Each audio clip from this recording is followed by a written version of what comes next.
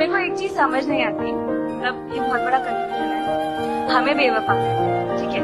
हमें बेवफा कहते हैं बट जब प्यार रिश्ता निभाने का वक्त आए तो प्यार के दो बोल ना बोल सके, ऐसे कायर बन जाते हैं। और हमारे छोड़ के जाने के बाद न जानिए देवदास जैसे बड़े बड़े शायर बन जाते हैं।